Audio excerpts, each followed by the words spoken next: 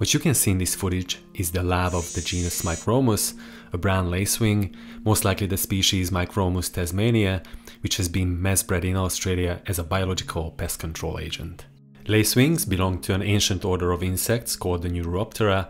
Members of this order are very diverse both in behavior and appearance. Neuropterans are soft-bodied insects with relatively few specialized features. They have large lateral compound eyes and may or may not also have simple, generally much smaller eyes called the ocelli. Here you can see an example of that with a clearly visible ocellus right in the center of a translucent cicada's head. Their mouthparts have strong mandibles suitable for chewing. They have four wings, usually similar in size and shape, which feature a dense pattern of veins. Some neuropterans have specialized sense organs in their wings or have bristles or other structures to link their wings together during flight. Lacewings are also known as stinkflies. Adult green lacewings emit a strong chemical stench from glands situated in their thorax. One component of the compound is skatole, well known as one of the smelly substances in mammal feces. Its function is to deter potential predators. The larvae of lacewings are specialized predators with elongated mandibles adapted for piercing and sucking. The larval body form varies between different families depending on the nature of their prey. In general, however, they have three pairs of thoracic legs, each ending in two claws. The abdomen often has adhesive discs on the last two segments.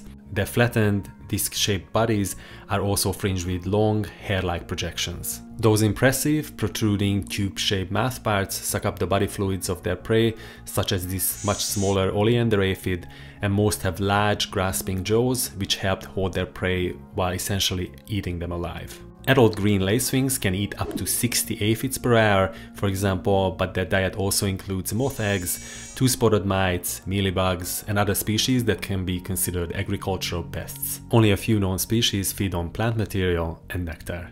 Lacewings are found in most habitats throughout Australia, and both adults and larvae are pretty common in urban areas as well.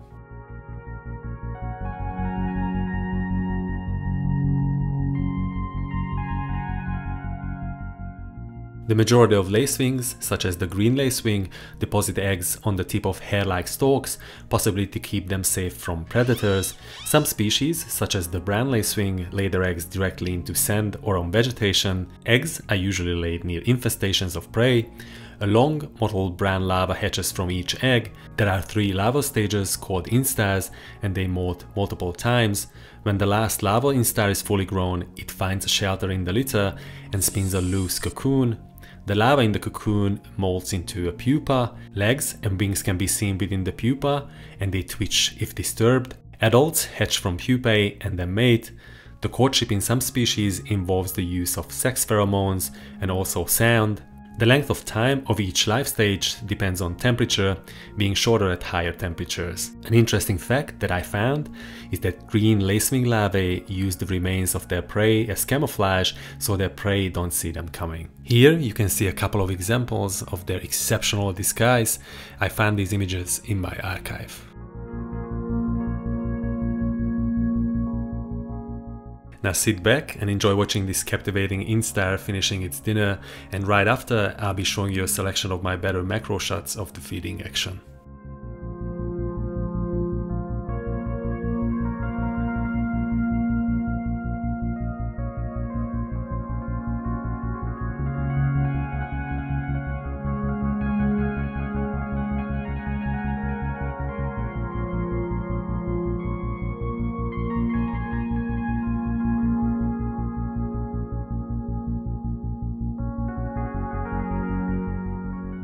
Here are a few more shots I captured of a predatory brown lacewing larva.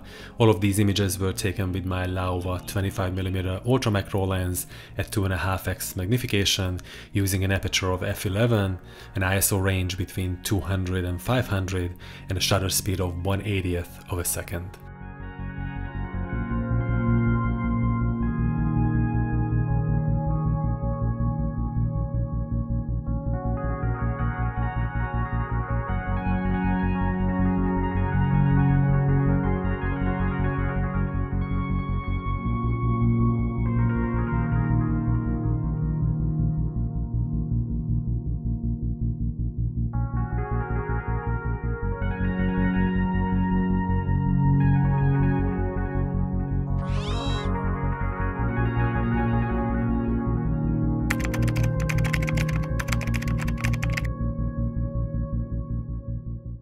Anyway, this is it for today's video. I hope you enjoyed it and learned something new about lacewings. If you'd like to read more about them, then have a look at the links provided in the description that I used as resources. If you are new to my channel, don't forget to subscribe and also check out this video and playlist, which is full of educational nature videos. Thanks for watching and see you all very soon in the next one.